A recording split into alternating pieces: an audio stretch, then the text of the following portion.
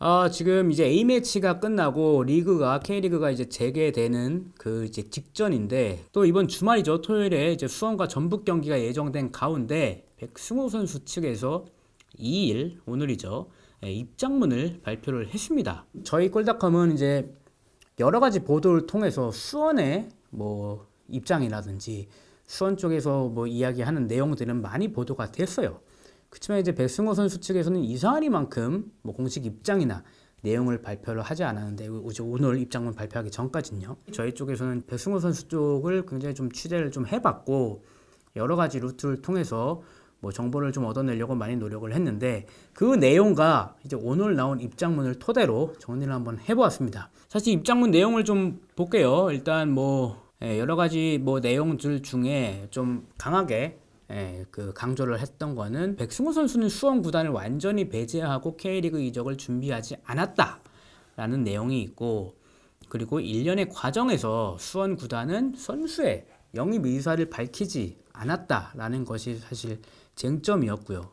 그리고 이제 다름슈타트와 이제 뭐 공문을 주고 받았는데 그 당시에도 영입을 뭐 적극적으로 하겠다는 뭐 이야기보다는 현재 이제 전북과 타고 다닌 전북과 어떤 지금 과정이냐, 어떤 어느 정도까지 뭐 협의가 이르렀느냐 이런 거에 대한 문의만 했다고 그렇게 이제 보도가 되었는데 뭐 이제 다름슈타트는 당연히 거기에 대해서 뭐 답변을 해줄 의무도 없고 뭐 선수를 지금 갖고 있는 구단이기 때문에 예, 그래서 어쨌든 뭐 다름슈타트의 대화도 종료가 되었었죠.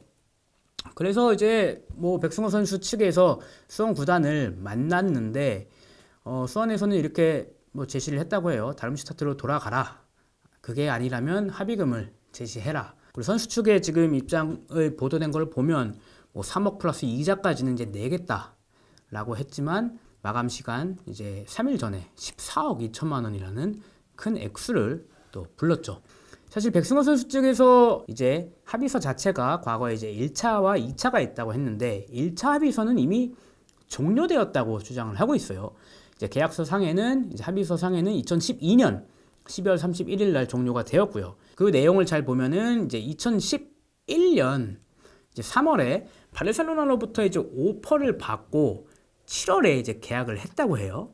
그렇지만 이제 그 이제 계약 7월에 하기 전 5월, 6월경에 이제 수원 관계자도 바르셀로나를 갔다 왔어요.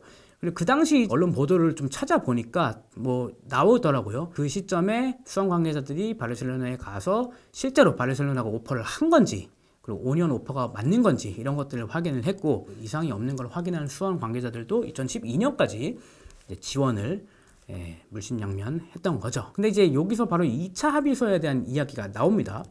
2013년에 이제 감사 때문에 합의서를 써 달라라고 지금 수원 쪽에서 요청을 했고 이제 백승호 측 선수 측에서는 뭐 그렇다면 그런 이유라면 합의서를 써 주겠다. 합의서 사인을 하겠다. 그리고 그 내용에 이제 국내 복귀 시에는 삼성으로 복귀를 해야 된다. 안 그러면 유작비를 반환해야 된다라는 내용이 들어있다고 해요. 그래서 이제 뭐 사인을 당연히 했고 다만 이제 추가 2년, 5년 계약을 했기 때문에 추가 2년에 대한 지원도 뭐 구두로 좀 요청을 했는데 그거는 결국 뭐 이행이 안 되었기 때문에 네, 2차 합의서의 존재는 선수 측에서는 좀 아니다. 이건 이제 합의된 내용이 아니다라는 주장을 하고 있습니다. 그래서 좀 구체적으로 알아봤습니다. 시점에 따라서 자 2013년에 이제 백승호 선수가 징계를 받게 돼요. 그래서 예, 그 피파 징계를 받게 되는데 그래서 이제 공식 경기에는 뛸 수가 없고 그래서 이제 좀 돌아가려고 좀 마음을 좀 먹었는데 2014년 14 13년과 14년에는 바르셀로나 구단에서 친선전도 굉장히 많이 잡혀 있기 때문에 돌아가지 말라고 이야기를 했고 2015년에는 이제 18세가 되면서 예, 경기에 좀 뛸 수 있는 여건이 되었지만 이때 다시 또 구단이 피파로부터 징계를 받으면서 백승호 선수의 바르셀로나 복귀도 무산이 됩니다. 그래서 2015년 4월 말에 백승호 선수는 이제 메탄고등학교로 복귀를 추진을 했는데 이 과정에서 삼성에서 반대를 해서 이게 무산됐다고 이야기를 하고 있습니다.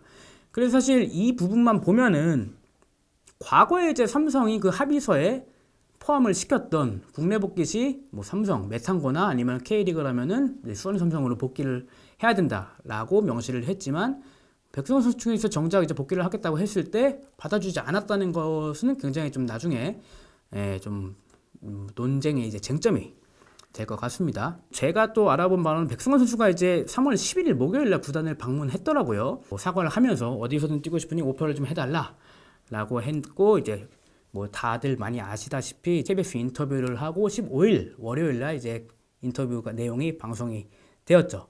그리고 그 이후 17일에는 아버지가 방문을 해서 또다시 수원 삼성 측과 논의를 했는데 그게 잘 안 됐었죠. 그래서 많은 분들이 지금 아시다시피 뭐 배상금을 내라 아니면 다른 스타트 돌아가라 이런 이야기가 있었다고 합니다. 그 이제 뭐 배상금, 보상금을 반환하는 그런 이제 액수 자체는 지금 굉장한 차이를 보이고 있고요. 네, 지금까지 볼타컴 알팀이었고요. 저는 다음 영상에서 다시 찾아뵙겠습니다. 감사합니다.